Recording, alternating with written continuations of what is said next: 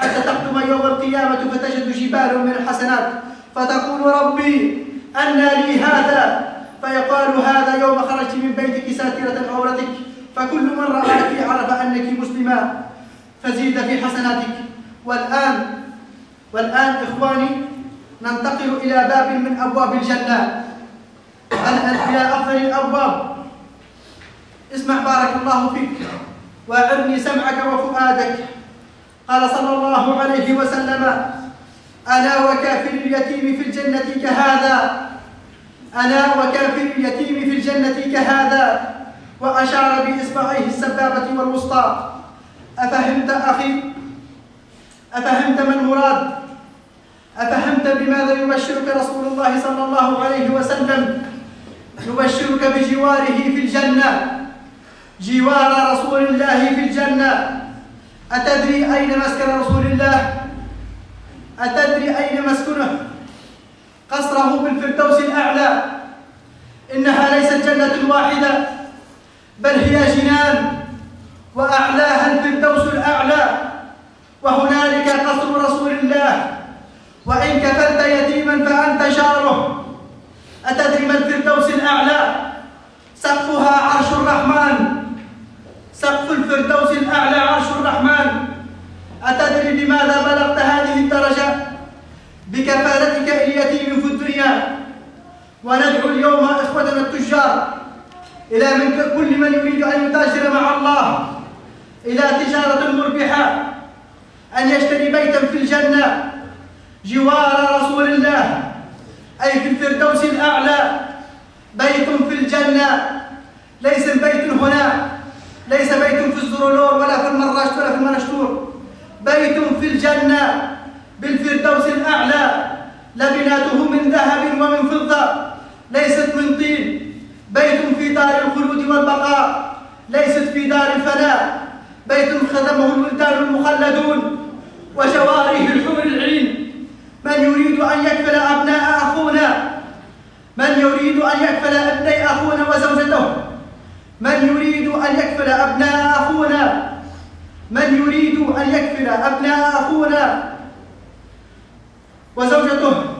وأن يتربوا على لا إله إلا الله ويعتق رقابهم من النار. عندما سئلت المسكينة لماذا لا تربيهم على لا إله إلا الله؟ قالت إن فعلت. قالت إن فعلت أحرم من المسكن وأحرم من النفقة. من يكملهما وله الجنة هذا وعد من الله إلى رسوله من يريد التجارة مع الله وعد من الله لرسوله ووعد من رسوله لأمته كم قدر النفقة أصلا كم قدرها إن حسبناها لتكون 500 يورو في الشهر حتى يبلغ الأولاد الحلم أي على مدى عشرة سنوات أي خمسين ألف يورو بعد عشر سنوات بالتقسيط المريح وماذا خمسين ألف يورو لا تساوي بيتا من بيوت الدنيا لبناته من طين ماذا يعني خمسين ألف يورو لا شيء مقارنة بقصرا جوار رسول الله من يريد أن يشتري جوار رسول الله وأبا بكر وعمر بسعر زهيد وأجر عظيم. ولا حرج أن تكون صدقة علنية. من يريد أن يعلنها فليعلنها.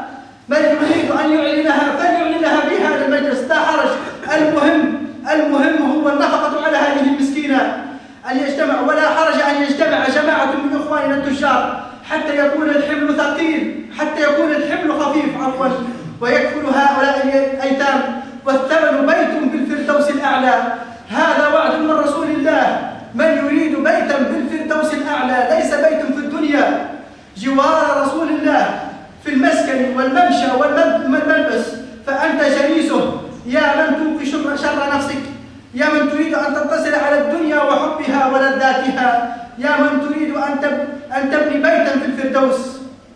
اسمع لا نفس تبكي على الدنيا وقد علمت أن السلامة فيها ترك ما فيها.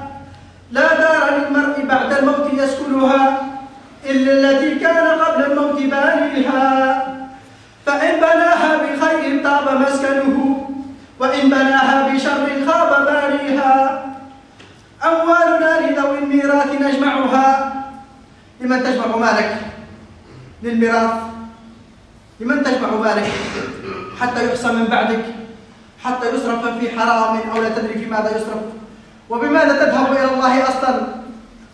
بمترين من القماش؟ لمن تترك هذه الأموال وتفرط في بيت في الجنة؟ أموالنا لذوي الميراث نجمعها ودورنا لخراب الدهر نبنيها. أين الملوك؟ أين الملوك؟ أين الملوك التي كانت مسلطنة حتى سقاها بكأس الموت ساقيها؟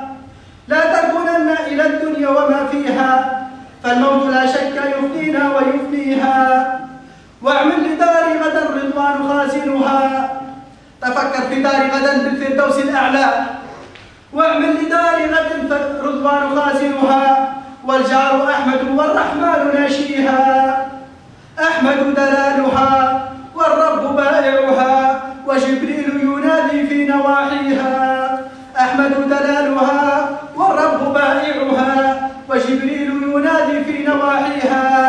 من يشتري الدار في الفردوس يعمرها بركعة في ظلام الليل يحييها. فاللهم فاللهم يا سميع الدعاء من أراد كفالة هؤلاء الأيتام فزد في ماله. اللهم فزد في ماله وليطمئن كل من أراد أن يكفل هؤلاء الأيتام. من رسول الله وعدا وعدا من رسول الله ما نقصت صدقة من مال. ما نقصت صدقة من مال. فليخشى كثرة المال لا نقصه. بعد كفالة هؤلاء الأيتام. اللهم فزد في ماله. اللهم فأعشه عيشة هنية وأمته موتة رضية. واجعل أحمد في الفردوس له جارا يا رب العالمين. اللهم إني داع فأمنوا يا من وعدت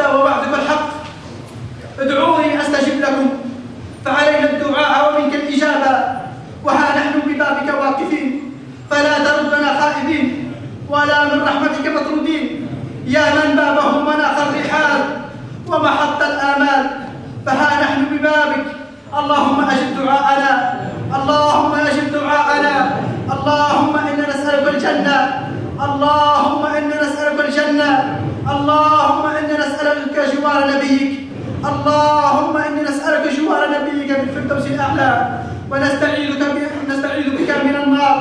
اللهم نسألك عيشة السعداء وميتة الشهداء.